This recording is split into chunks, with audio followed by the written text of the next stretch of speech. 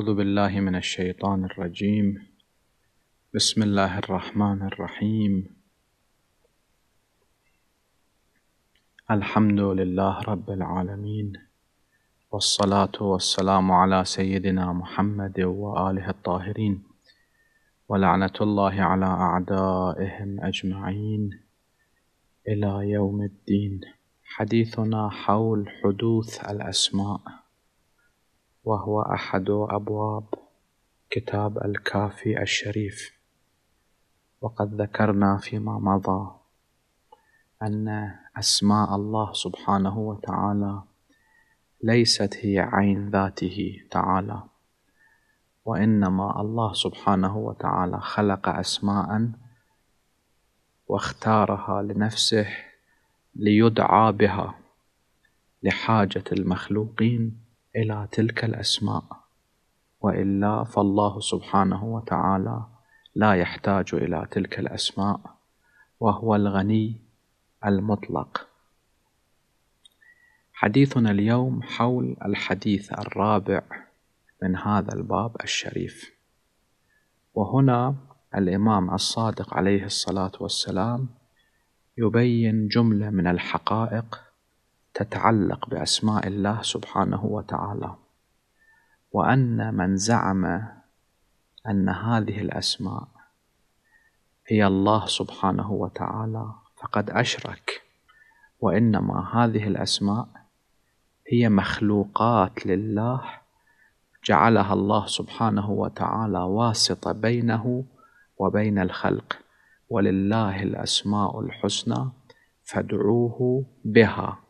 يعني بواسطة تلك الأسماء يمكنكم أن تدعوا الله سبحانه وتعالى وأن تعرفوه. في هذا الحديث الإمام الصادق عليه الصلاة والسلام يبين مجموعة من الحقائق. الحقيقة الأولى هي أن اسم الله سبحانه وتعالى المكتوب يعني أنت عندما تكتب ألف لام لام هاء. أو تكتب خالق ورازق. هل هذه الكلمة التي أنت كتبتها كتبتها هي نفس الله سبحانه وتعالى؟ كلا. فإن هذه الكلمة إنما هي مصنوعة لك. أنت صنعتها بحركة القلم على الورقة. وهذه الكلمة هي مركبة من حبر مثلا. وهذا الحبر هو مركب. والله سبحانه وتعالى ليس بمركب. هذه الكلمة التي أنت كتبتها لم تكن موجودة ثم كانت. وبعد ذلك يمكن أن تزول بالمحو مثلا أو بالإلقاء في الماء أو بتلف الورق. والله سبحانه وتعالى سرمدي أبدي أزلي لا يعقل في حقه أن يعدم. فإذا هذه الكلمات إنما هي مخلوقات وكذلك الألفاظ التي نتلفظها نحن. يعني الآن نحن نتلفظ لفظا. نقول يا الله هذه الألفاظ التي خرجت من فمنا إنما هي أمواج هوائية قطعت تقطيعا بسبب اللسان فصارت أمواج صوتية. هذه الأمواج الصوتية هل هي عين الله سبحانه وتعالى؟ كلا هذه الأمواج هي مصنوعة لنا وهي من جنس الهواء ومن جنس الأصوات ولم تكن موجودة ثم وجدت بالتلفظ ثم بعد ذلك تنتهي تزول. والله سبحانه وتعالى لا يزول. إذا فهذه الألفاظ إنما تدل على معنى. يعني حينما أنا أذكر لفظ الله يرتسم في ذهن في ذهنك معنى يعبر عنه بالوجود الذهني أو المفهوم الذهني. هل هذا المعنى الذي هو ارتسم في ذهنك هو الله سبحانه وتعالى؟ كلا. المعنى الذي ارتسم في ذهنك مفهوم يشير إلى الله سبحانه وتعالى. وليس ذلك المعنى الموجود في ذهنك هو الله سبحانه وتعالى. لأن الله ليس بمحدود حتى يحد في ذهن إنسان من الناس. يعني الآن مثلا نحن في الممكنات. إذا أنا ذكرت كلمة شجر هذه كلمة الشجر التي تخرج من فمي. هل هي عين تلك الشجرة الخارجية؟ كلا. كلمة الشين والجيم والراء التي تخرج من فمي هي أمواج هوائية صوتية. هذه حينما يستمعها المستمع. يرتسم في ذهنه شيء. هل الشجر الخارجي هو نفس ذلك الشيء الذي ارتسم في ذهنك؟ كلا. ما يرتسم في ذهنك هو صورة لذلك الشيء أو مفهوم لذلك الشيء. هذه الصورة الذهنية التي في ذهنك تشير إلى ذلك الوجود الخارجي. زين. نحن نأتي في أسماء الله سبحانه وتعالى. الإمام الصادق عليه الصلاة والسلام يقول حينما أنت تتلفظ باسم من أسماء الله. هل الله هو نفس هذه الألفاظ؟ كلا. حينما تكتب هل الله سبحانه وتعالى نفس هذه. هذا الحبر وهذه الكتابة؟ كلا. وإنما هذا اللفظ وهذه الكتابة تدل على معنى يرتسم في ذهنك معنى. ذلك المعنى أيضا ليس هو الله سبحانه وتعالى. وإنما هذا المعنى اللي في ذهنك يشير إلى ذلك الوجود الخارجي يشير إلى تلك الحقيقة. وحتى الصورة اللي في ذهنك هذه الصورة ليست صورة لله لأن الله ليس له صورة. وإنما مفهوم هذا المفهوم يشير إلى حقيقة خارجية هو الله سبحانه وتعالى. أما من يزعم أن الاسم عين المسمى معنى كلامه شنو هو؟ معنى كلامه أن هذه الكتابة هي الله وهذا شرك. أو هذه الأمواج الصوتية هي الله سبحانه وتعالى وهذا شرك. لأن الله سبحانه وتعالى ليس هذه الأمواج الصوتية هذه أمواج صوتية مخلوقة. الله سبحانه وتعالى ليس هذا الحبر المكتوب هذه مخلوقة. وإنما الله سبحانه وتعالى غاية من غايات هذه الألفاظ. يعني أنت عندما تذكر هذه الألفاظ تريد أن يرتسم معنى في ذهن المستمع ذلك المعنى يشير إلى تلك الحقيقة الخارجية إلى الذات المقدسة. فتلك الغاية غير اللافظ الذي يدل على تلك الغاية. أنت هدفك من ذكر هذا الكلام هو الإشارة إلى الذات المقدسة وليست الإشارة الحسية ولا الإشارة العقلية لأن الله سبحانه وتعالى لا يشار إليه وإنما المقصود إدراك تلك الحقيقة. زين. فهذا اللفظ له غاية وهذا المعنى الذي يرتسم في الأذهان له غاية والغاية غير المغاية يعني ذو الغاية اللفظ الذي يدل على تلك الغاية.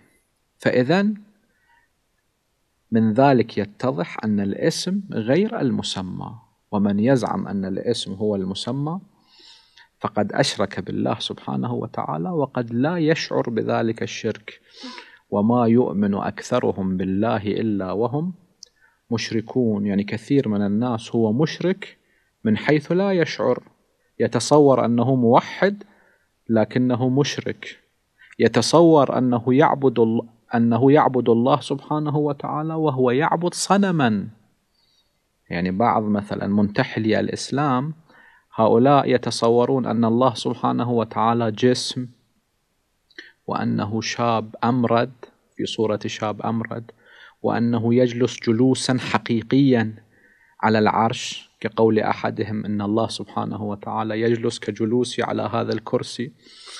زين وأنه ينزل نزولا حقيقيا بمعنى أنه يتحرك كقول أحدهم أن إن الله ينزل كنزول من منبري هذا. فهؤلاء يعبدون صنم لا أنهم يعبدون الله سبحانه وتعالى.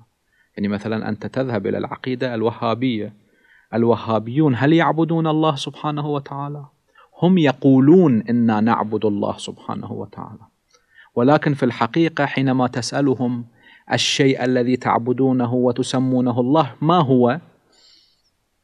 حينما يصورون ذلك الشيء الذي يعبدونه يصورون جسما متحركا كان في عماء فوقه هواء تحته هواء وأنه جالس جلوس حقيقي على العرش وأنه له عين حقيقية وله يد حقيقية وله رجل حقيقية وأنه في يوم القيامة يدخل رجله حسب ما يقولون ويزعمون في نار جهنم حتى تقول قط قط. زين هذا الشيء اللي دا يعبدوه هذا الصنم هذا شكل إنسان ولكن يعبدون صنما ويسمونه الله. يعني هذا الاسم وضعوه على هذا الصنم زورا وبهتانا. فكثير من منتحلي الإسلام بهذه الحالة. يعبد صنم وهو يتصور أنه يعبد الله سبحانه وتعالى.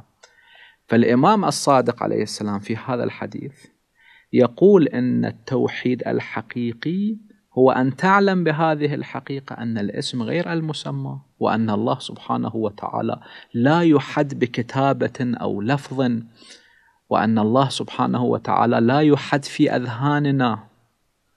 وإنما نحن نعلم بوجود الله سبحانه وتعالى ولا يمكن أن ندرك حقيقة ذات الله. ما هو كنه ذات الله؟ لا يمكن أن ندرك هذه الحقيقة. ولكن نعلم بعقولنا بوجود الخالق المتصف بصفات الكمال المنزه عن صفات النقص. هذا خلاصة المقطع الأول من هذا الحديث. وهناك مقاطع أخرى سنشير إليها تباعا بعد أن نتلو أجزاء من هذا الحديث الشريف. عن أبي عبد الله عليه السلام الإمام الصادق قال اسم الله غيره. لا تتوهم أن اسم الله عين الله. اسم الله غير الله. اسم الله غيره. بعد ذلك الإمام يبدأ بالاستدلال على هذه الحقيقة. وكل شيء وقع عليه اسم شيء فهو مخلوق ما خلا الله. يعني كل اسم يدل على مسمى. ذلك المسمى مخلوق إلا الله سبحانه وتعالى. له اسم وهذا الاسم يدل على ذات الله ولكن تلك الذات المقدسة غير مخلوقة لأن الله سبحانه وتعالى أبدي أزلي لم يكن له بداية هو الأول والآخر. ليس له خالق. وقد ذكرنا تفصيل هذا البحوث هذه البحوث في البحوث الماضية. وكل شيء يعني كل موجود سواء بالوجود الخارجي الشمس القمر الأرض وما نراه وما نشعر به وما نحسه أو بالوجود الذهني يعني المعاني التي هي في أذهاننا ليس لها وجود خارجي لكن لها وجود ذهني. وكل شيء وقع عليه اسم شيء. بلفظ أو بكتابه أنت ترى هذا الموجود وتسميه شمسا فهذا الشمس صار اسم لذلك الموجود المشرق الخارجي. فهو مخلوق كل مسمى مخلوق ما خلا الله سبحانه وتعالى. فإن الله سبحانه وتعالى ليس بمخلوق. زين. بعد هذه المقدمة نأتي إلى المطلب. هذه الكتابة التي تكتب. ألف لام لام هاء هذه الكتابة مصنوعة أو غير مصنوعة؟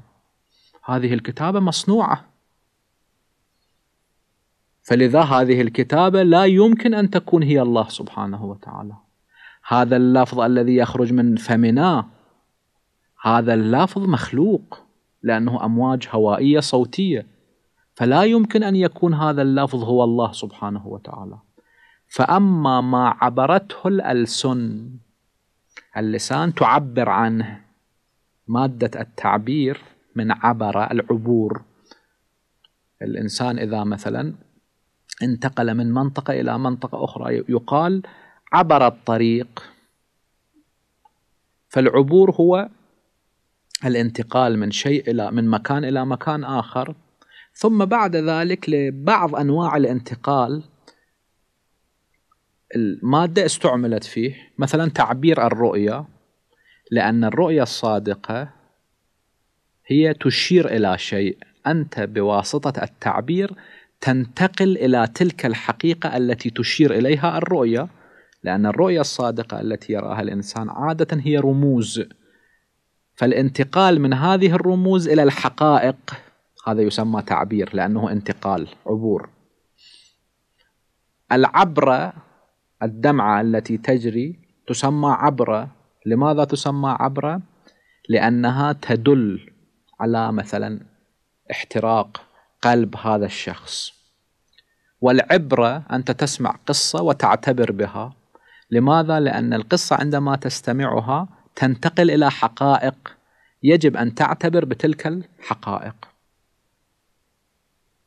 فالتعبير أيضا هكذا لأنك تريد أن تشير إلى معاني الإشارة إلى تلك المعاني إنما يكون عبر الألفاظ. تريد أن تفهم المستمع تلك المعاني. فأما ما عبرته الألسن أو عملت الأيدي يعني بالكتابة فهو مخلوق. كيف يمكن أن يكون هذا اللفظ هو الله؟ كيف يمكن أن تكون هذه الكتابة هي الله سبحانه وتعالى؟ أنت حتى في أسماء المخلوقات. يعني افرض أنت تكتب زيد. هذه الكتابة الزاء والياء والدال التي أنت كتبتها هل هي نفس ذلك الوجود الخارجي الإنسان؟ لا. هذه الكتابة الغرض منها أنه إذا واحد شاف هذه الكتابة يتصور في ذهنه معنى. وهذا المعنى اللي يجي في ذهنه ليس هو ذاك الزيد الخارجي. وإنما هذا المعنى اللي في ذهنه يشير إلى ذلك الوجود الخارجي. وهكذا حينما تتلفظ عندما تقول جاء زيد هذا لفظك عندما تقول زيد هذا اللفظ هو نفس ذلك الوجود الخارجي لا. هذا اللفظ الغرض منه أن ينتقل معنى أن يوجد معنى في ذهن المستمع وذلك المعنى أيضا ليس ذلك زيد الخارجي. وإنما يشير إلى ذلك الوجود الخارجي. إذا هذا كان في المخلوقات بهذه الكيفية فخالق المخلوقات والله سبحانه وتعالى لا يمكن أن نقول أنه يحصر في كتابة أو في لافظ أو في ذهن مستمع. أما ما عبرته الألسن أو عملت الأيدي فهو مخلوق وهو واضح. والله غاية من غاياته والمغيا غير الغاية. في هذه العبارة التي يذكرها الإمام الصادق عليه الصلاة والسلام توجد شروح مختلفة لتوضيح كلام الإمام الصادق عليه الصلاة والسلام. وأفضل تلك الشروح هو ما نذكره الآن. والله غاية من غاياته. يعني حينما تكتب كلمة خالق رازق قادر مقتدر حي محيي مميت. هذه صفات الله سبحانه وتعالى وأسماؤه. هذه الكتابات أو حينما تتلفظ تقول يا الله يا رحمن يا خالق يا بارئ يا مصور يا غفور وما إلى ذلك من أسماء الله سبحانه وتعالى. مقصودك شنو هو؟ مقصودك أن هذه الأسماء تدل على ذات وليست هي الذات. هذه الأسماء ليست هي الله بل تدل على الله سبحانه وتعالى وتشير إليه. والله غاية من غاياته. يعني هدفك من هذه الكلمات هو أن تشير إلى الذات المقدسة وليس بإشارة حسية لأن الله ليس في مكان ولا بإشارة عقلية وإنما بمعنى أن تعرف وأن تدرك تلك الحقيقة. والله غاية من غاياته. والمغيى غير الغاية. لا يمكن أن يكون المغيى نفس الغاية. يعني عندما تكتب أنت كلمة زيد هدفك من هذه الكتابة شنو هي؟ الدلالة على تلك الذات الخارجية. فهل هذه الكلمة نفس تلك الذات الخارجية؟ لا تدل عليها. والغاية غير المغية. الكتابة الذي تكتبها تكتب الله رحمن. أو تتلفظ. هذه الألفاظ هذه المغية هذه الألفاظ يسمى مغية لأنه لأنه ذو الغاية لأن هذه الألفاظ لها غاية لها هدف. وحيث إن لك هدفا من هذه الألفاظ وغاية هذه الألفاظ وهذه الكتابات تسمى مغية. والمغية غير الغاية الكتابة واللافظ ليس هو الله سبحانه وتعالى وإنما تدل على الله والغاية موصوفة وكل موصوف مصنوع. أنت حينما تذكر هذه اللفظة أو تكتب هذه الكتابة إذا كان غرضك أن ينتقل المعنى في ذهن هذا الإنسان المستمع. هذا المستمع حينما انتقل إلى ذهنه هذا المفهوم يعني وجد في ذهنه هذا المفهوم. هل هذا المفهوم الذهني هو الله؟ كلا. لأن هذا الموجود الذهني محدود. أنت في ذهنك الآن تصور. حينما تتصور هل هذا التصور اللي في ذهنك هو الله؟ كلا. لأن هذا التصور اللي في ذهنك لم يكن موجودا. ثم وجد ثم إذا ذهنك انصرف إلى أشياء أخرى يزول من ذهنك. والله سبحانه وتعالى لا يعقل أن يعرضه العدم أن لم يكن موجودا ثم كان ثم يزول. هذا غير معقول في حق الله سبحانه وتعالى. وأيضا ذهن الإنسان محدود. هل الله سبحانه وتعالى يحد في ذهن إنسان؟ تعالى الله عن ذلك. لذا الإمام يقول وكل موصوف مصنوع يعني كل موصوف بحدود كما يتبين من الكلمة الآتية في الحديث الشريف.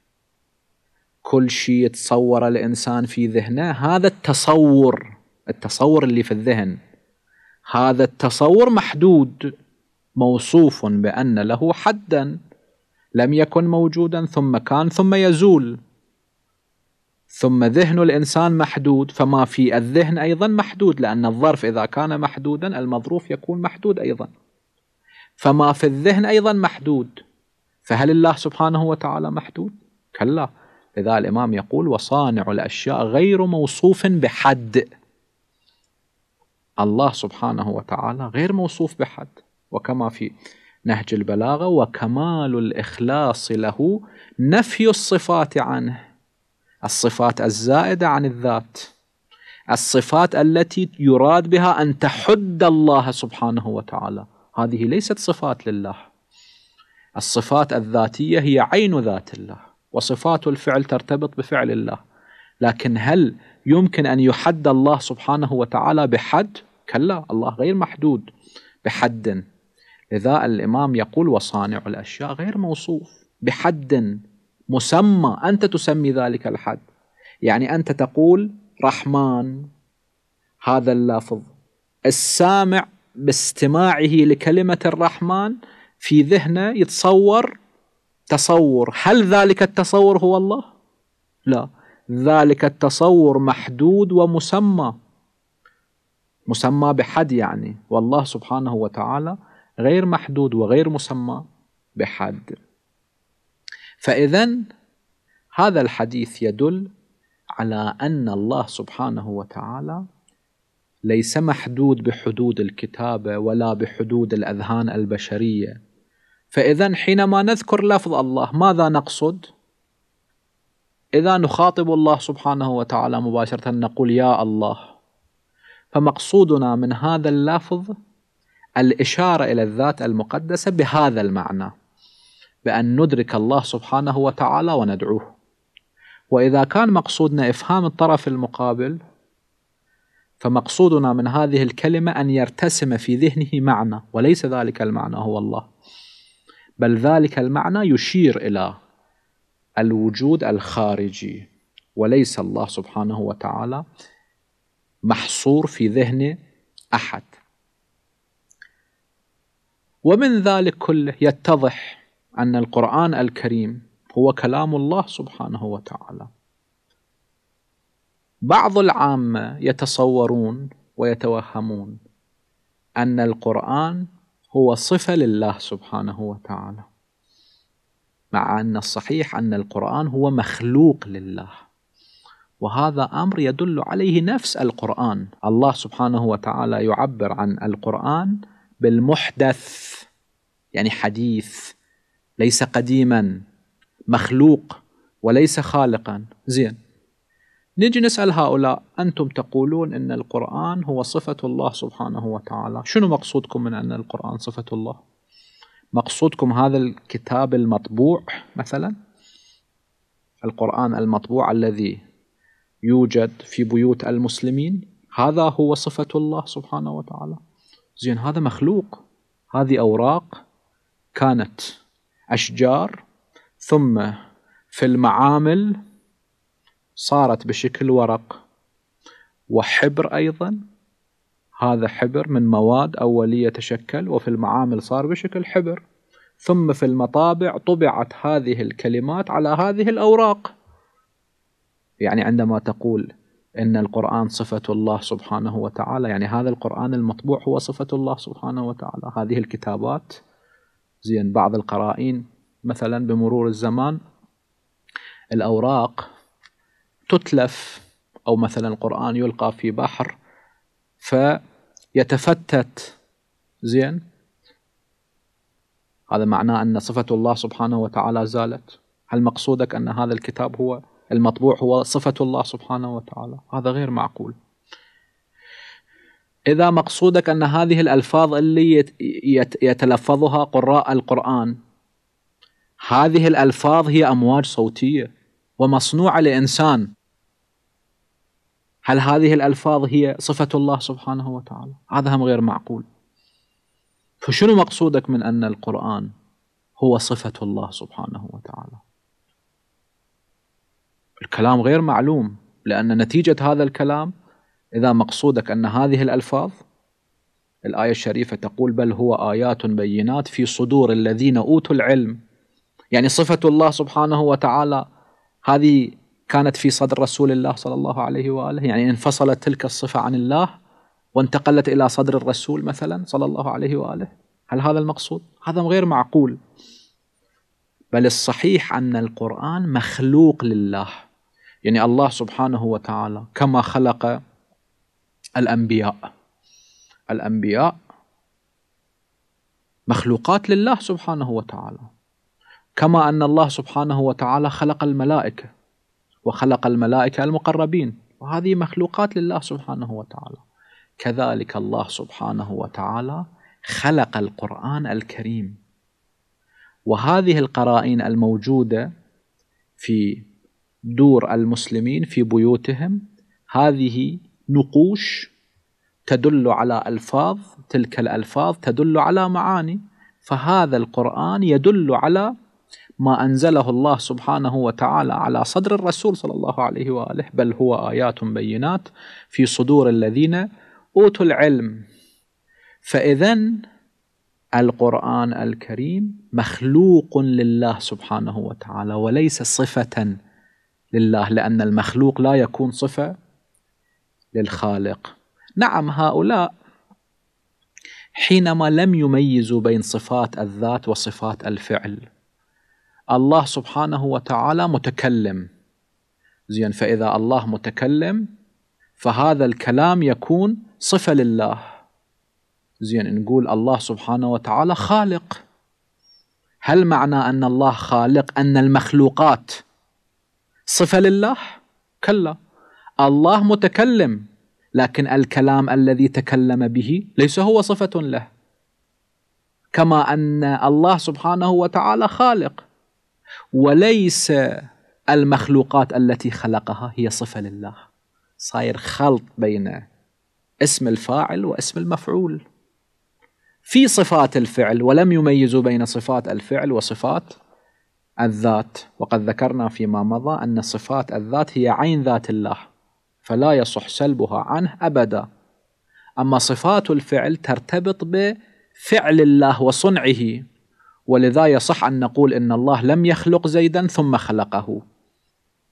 لكن لا يصح أن نقول إن الله لم يكن يعلم بزيد هذا كلام باطل. هل يصح أن نقول إن الله لم يكن يعلم بزيد ثم علم به؟ كلا. أما يصح أن نقول إن الله لم يكن قد خلق زيدا ثم خلقه. فعدم التمييز بين صفات الذات وصفات الفعل. زين؟ وعدم التمعن والتدبر في آيات القرآن التي تدل على أن القرآن مخلوق. فاذا هذا عدم التمييز سبب عدم معرفة الحقائق المتعلقة بأسماء الله سبحانه وتعالى وصفاته.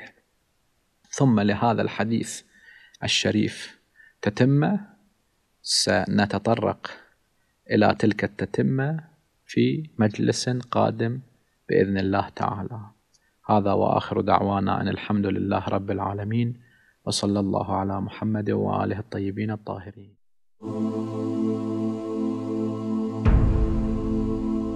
Allah